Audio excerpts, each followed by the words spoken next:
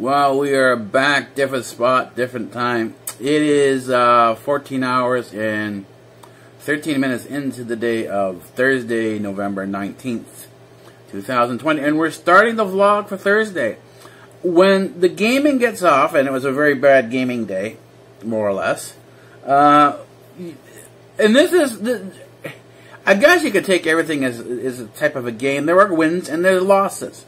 Today I had a bit of a loss, but it's not much of a setback. I've prepared for it, so the loss, even though it was disappointing, uh, is more is going to be survivable. It's in terms of, of of where I'm going and what I need to do in terms of the long run. It's not going to have any impact at all.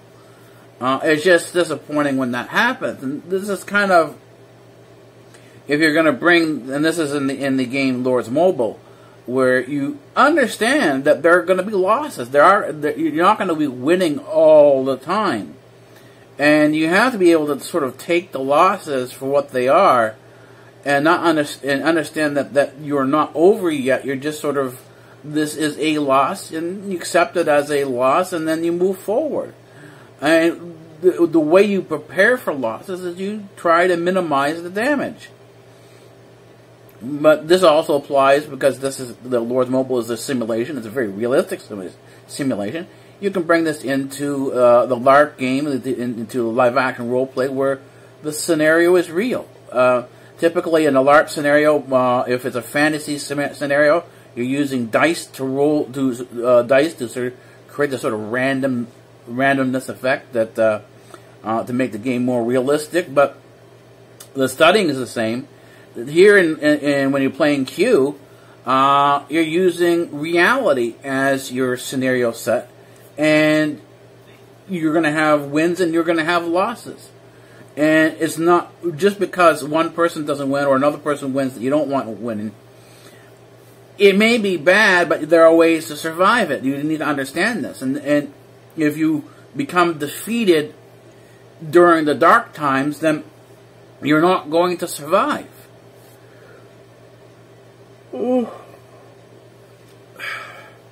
And that's kind of that's kind of the key. Survival is uh, is the key component of perseverance.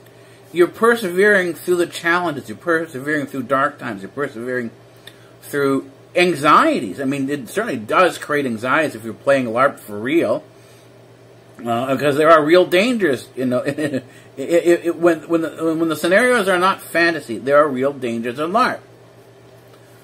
and, and you gotta you have to accept that if you're gonna up your game, you've done the scenario, you've done, you've beat all the sort of the, the PvP, the person versus person games, then you need to step your game up and move up to LARP, in the LARP based in a real scenario.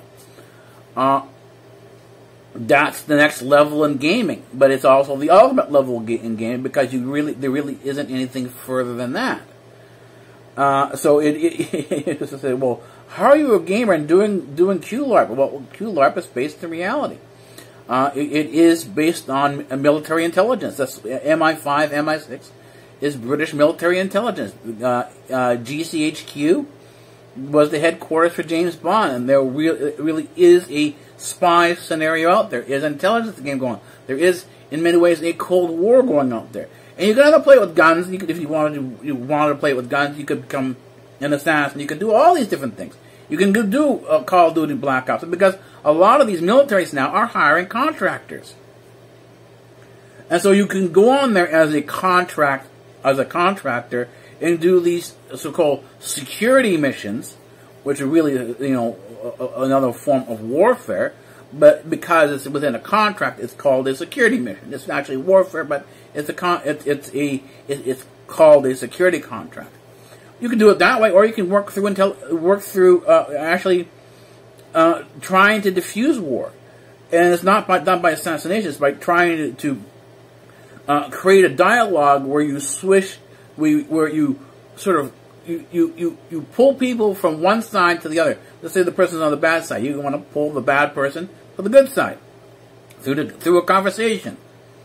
And a lot of times it goes through through through uh, but bringing up the person's uh, self-interest and showing that the self-interest is better on the good side than it is on the bad side. Uh, but at the same time, is that the bad person will more likely not try to co-opt you, will try to pull you over to the bad side. You know, there is that sort of the, the, the whole thing of the double agent, and then there are the triple agents, and there, there are a number of factors that, that step into reality here when you're doing you're doing Q as a LARP, uh, and you're taking it seriously as a LARP. Uh, that you're playing, and this, nerd gaming is about studying. Nerds are people who love to study. They, they, they love their research. And doing a LARP like this is, is, isn't a problem because they're doing the research anyways. It's just if you want to sort of step up from fantasy to reality, well, this is how you do it. Um, what you do, how you play, uh, the different contacts you have, uh, are you able to swing opinion? Are you not able to swing opinion? Are you make? Are you able to see someone? Let's say someone's on the hard side of something. Can you switch them to a softer side? Can you sort of sway them a little bit? And it's not necessarily uh, inundating them with uh, with information. It's understanding, watching the person. It's a lot of it's observation. Understanding the person's psychology, the way they think, and then hitting them with very specific bits of information that you will think will either shift in one way or the other. It's like initially throwing pebbles into a pond and seeing what happens with the ripples. And if you want to be effective, and depending on what you want to do, you throw different sized rocks. Let's say if you want to skip a rock, something like that, you think, oh, the rock. You want a you want a flat stone, and flat stones skip very well the question is, if you want to up your game, can you skip a can you skip, skip a round stone? Can you skip a heavier stone? What force is to uh, is it to require to skip a heavy stone? And these are sort of as you do your research, as you and this is you apply this to human personalities, and you go back to Stanley Milgram, you go back to uh, Dr. Philip Zimbardo. Understand a lot of the stuff was already understood. There are a lot of people who are out there doing this. Just it's not necessarily being done in the public eye. And so that, that you're not there by yourself. There are other people out there. It's not, but it's not until you get out and play the game that you realize that this is what's going on. Anyways, uh, it's time for some lunch, and uh, I'll probably see you uh, probably ooh, around 10 o'clock, 11 o'clock uh, uh, for some, some, more gaming. Uh, when I get back, I'll, I'll, probably I might do a, a, vlog on the scooter. If I get a, do a vlog on the scooter and it's successful, uh, you won't get another vlog, uh, a segment to the vlog, until about 4 or 5 o'clock in the morning on Friday. That's when you'll get the next one, next segment. It'll be like this. Be, we'll end the vlog, and then an hour and a half later, we'll, we'll, we'll start the vlog again. Because it's 24-7 here. Okay.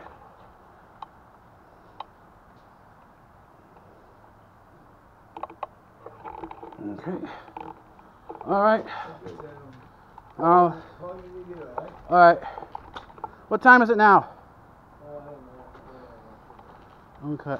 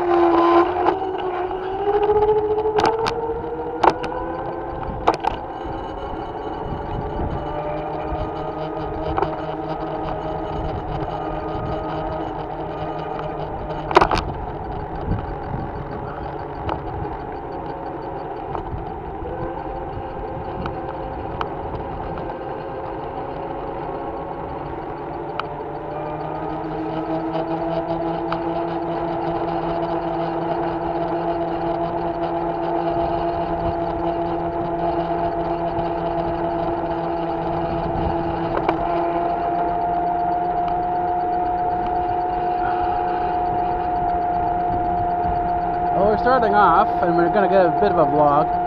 Anyways, it's going to be a nighttime vlog because uh, I'm going home at night. It's about uh, 10 past 9 I left. It's warm out. It's gone up to about 55 degrees uh, Fahrenheit. And we're still running in second gear. Doing about uh, 22 kilometers an hour on the side streets. I think that's good for here. And that's the thing is I going to be able to control uh, the speed on the accelerator and not necessarily have to max out the speed while I'm on the side streets. So that's what I'm doing and things are going well.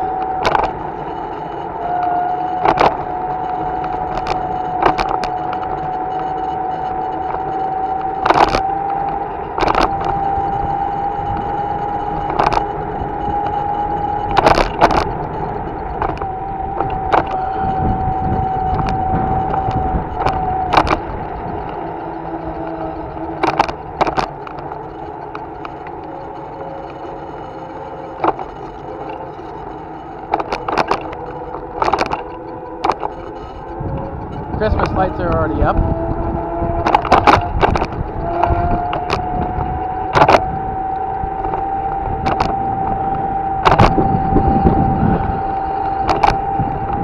Because of the bumps and everything on the side streets, I want to stick to about 25 kilometers. That's the goal.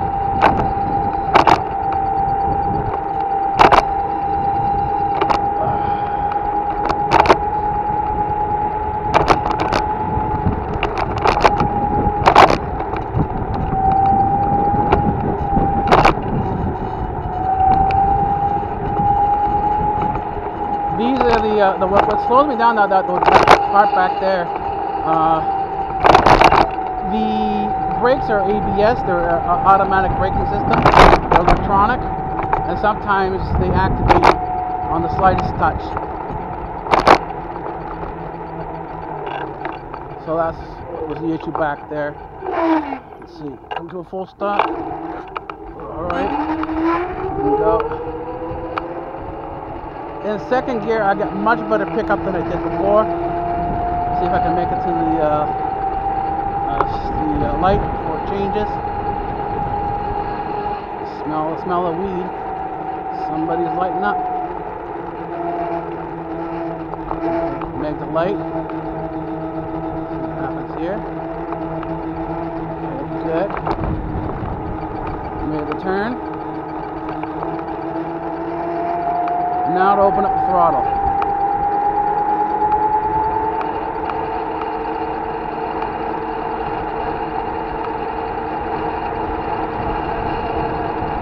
We're, do we're doing about 30 kilometers an hour. I think that's good.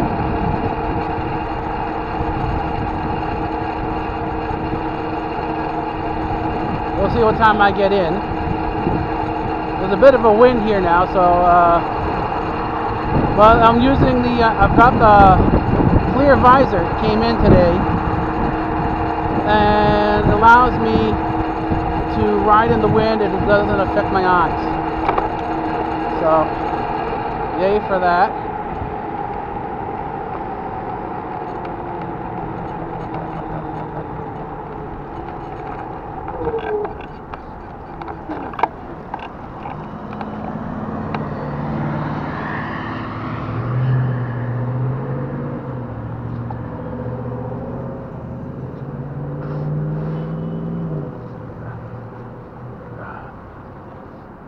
Camera's still going, which is good.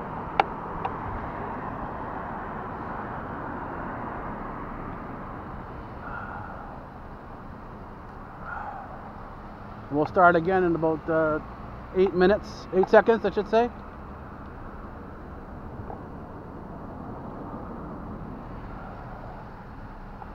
Okay, the light is changing, and we can go.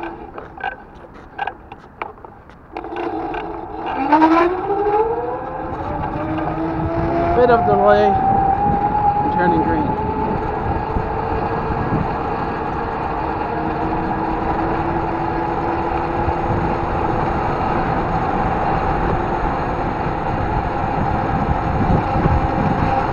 Doing 35 right now. So I think this is maxing out at 35 kilometers an hour.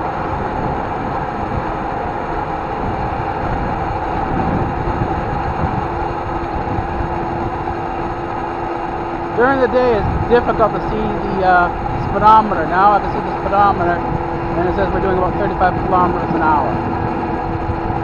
So, of course we're going slower on we're going slower on the uh, inclines, but I still have more room on the, on, on the throttle for more. But right now 30k is uh, 30 kilometers an hour is good, 35 kilometers is good. So we've definitely moved up several notches.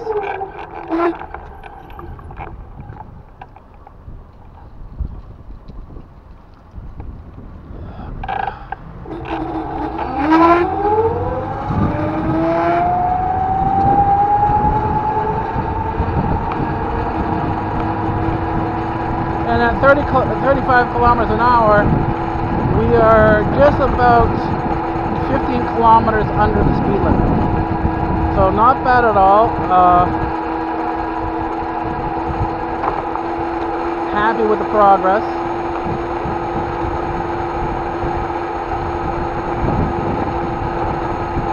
And it's not a bad night out tonight. I'm not wearing, actually not wearing the balaclava. There's no need for the balaclava. The balaclava basically protects the neck and the chest area in terms of uh, the upper chest, in terms of the uh, cold and the wind. Uh, and then when it gets really cold, I haven't tried it out yet at uh, 30 and below.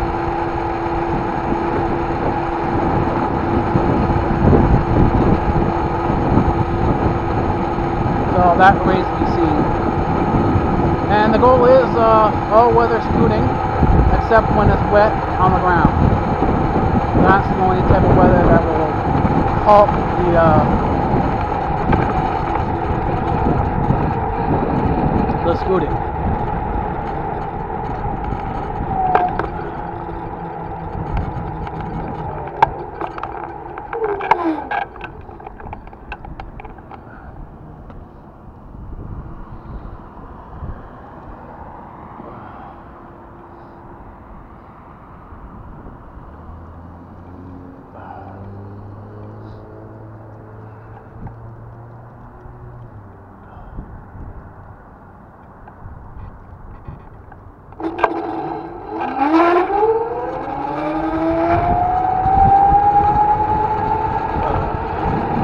A little bit of tear in the eye from the wind. And watery uh, uh, over to the left hand side of the uh, left eye.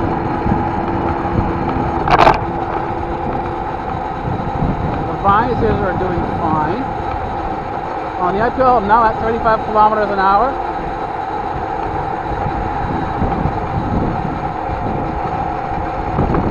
And I'm handling the speed fine. Got a bit of a wind here.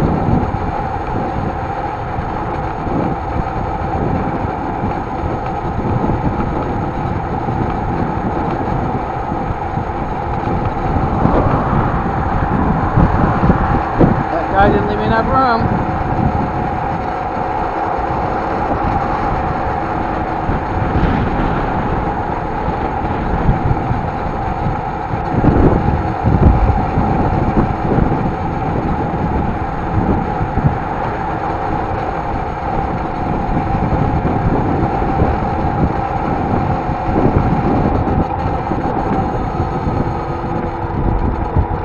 Finger off the throttle to slow down.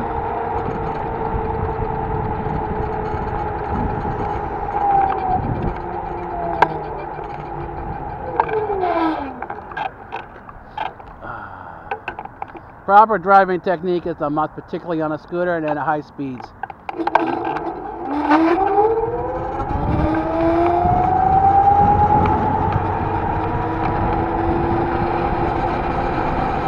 So our vlogs are definitely, our vlogs on the scooter are definitely, definitely going to be shorter uh, because we're going faster.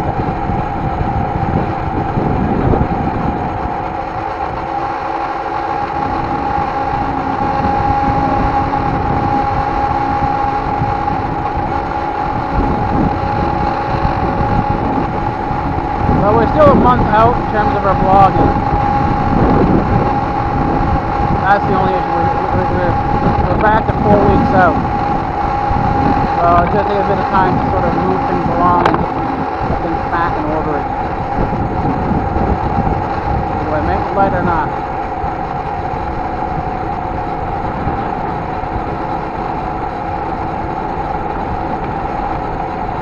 Not making the light. No. Throttle. And brake to a stop. Very nice.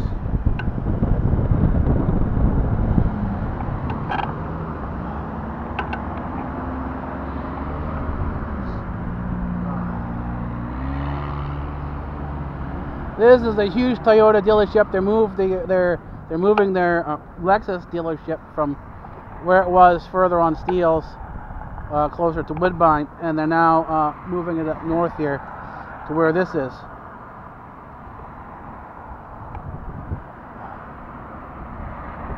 Uh, we got about 30 seconds left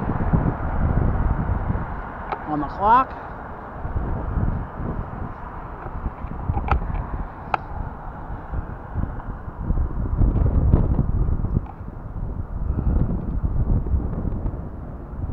Uh, we're down to seven seconds.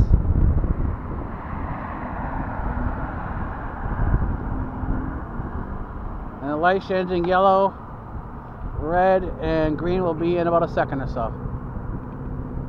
There we go.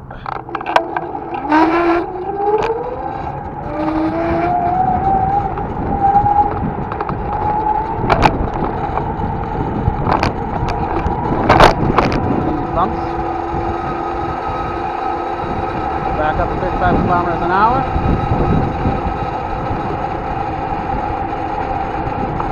And we're heading towards the lights. And we're not going to make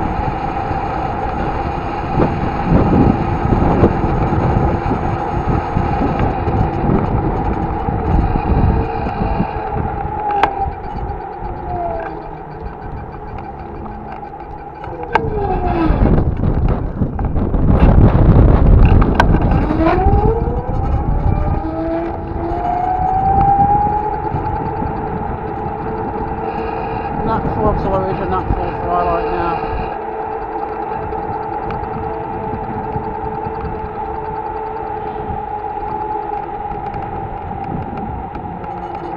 Do have to make the turn.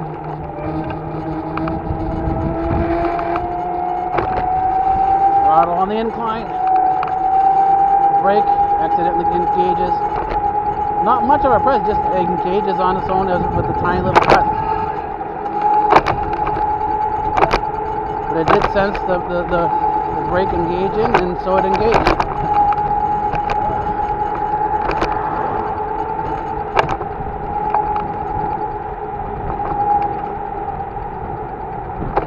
Back at my place, here we go.